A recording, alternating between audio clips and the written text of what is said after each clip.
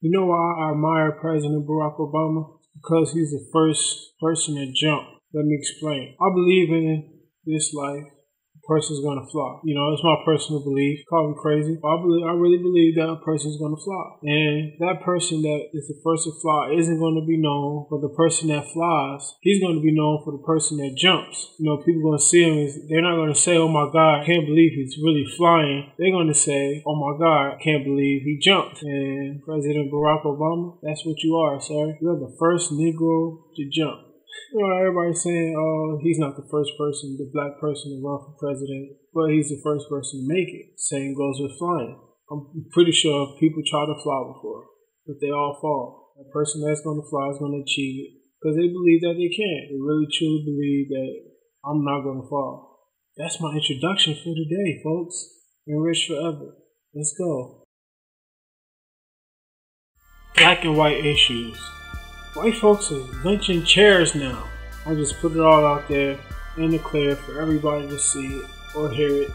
It's crazy because now it's getting closer to election time and white people are getting scared. Some white people are getting scared, thinking, "Oh my God, is, is he really going to win the game?" Yes, yes he is.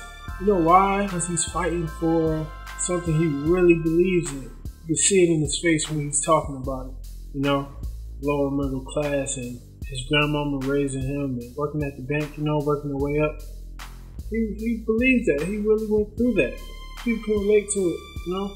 It's crazy because we're getting scared now. It's like, God, it's another term, another four years? I can't believe it.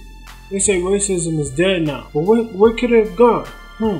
Maybe onto metal seats holding invisible black heartbeats, suspended by thick ropes hanging from thick, bold trees. Maybe that's where it's at. Did you know that in Florida they have race-based student goals now? They classify you by your race. They set an expectancy percent and they can tell by your race how you're going to classify in certain subjects. They tell you how much percent they think that are going to be at grade level reading. And 74% of black students are going to be able to read at a grade level by year 2018. 74%.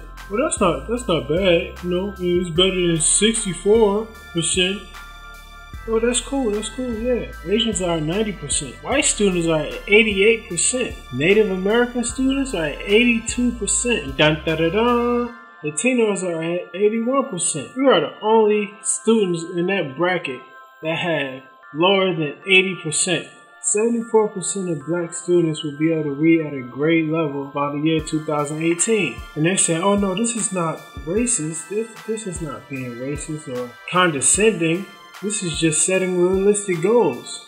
They say racism is dead now. Did you know that in New York, the population of young black males is at 158,000? Did you know 168,000 African American males, young males, got stopped by the police. 168,000 out of 158,000. That doesn't even make sense.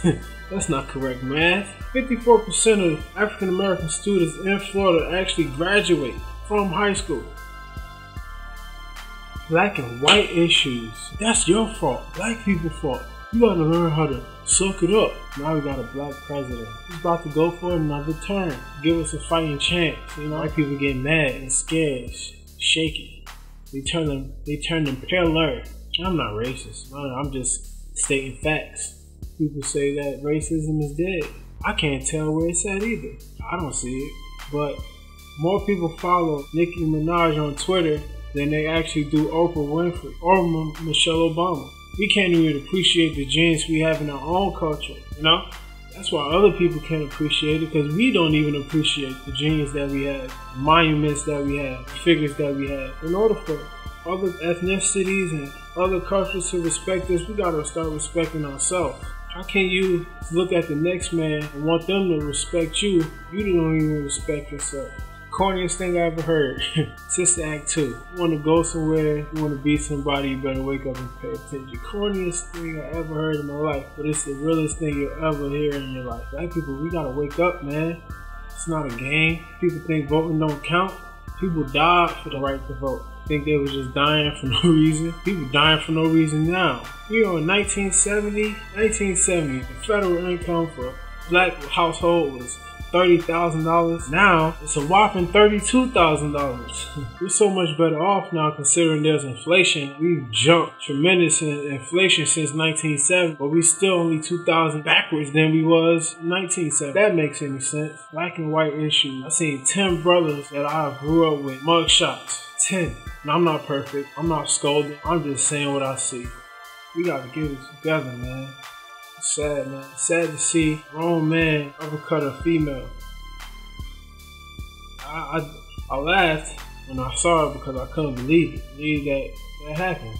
We want people in the workforce to respect our black women, but we can't even respect our black women. oh, how is that? That doesn't make sense. it doesn't make sense, man. it just, it, just, it doesn't make sense. It's in black and white. it's plain as day that we're missing. I don't know if people waiting for a crack in the sky, crack in the sky every morning. the light to cast out the darkness, light every morning. we waiting for it. Don't worry, Mitt Romney. Try your best, dog.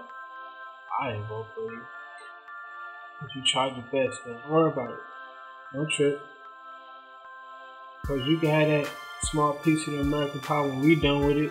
Obama, I'm rooting for you, dog. Rooting and I'm praying for you, man. Once you win this one, he's gonna be coming for you, bro. Be strong, man. Rest in peace, Amanda Todd. Rest in peace, black people. Peace. That's what you want to do, you know? Rest in peace. With me, I'm gonna be loud. Whatsoever things are true, whatsoever things are honest, whatsoever things are just, whatsoever things are pure, whatsoever things are love, whatsoever things are of good report, if there be any virtue, if there be any praise, think on these things. Those things which you have both learned, received, and heard, seen in me, do, and the God of peace shall be with you. It's rich forever. Thank you for chilling with your boy. I love you. Give me your comments, hate mints, love mints, and all that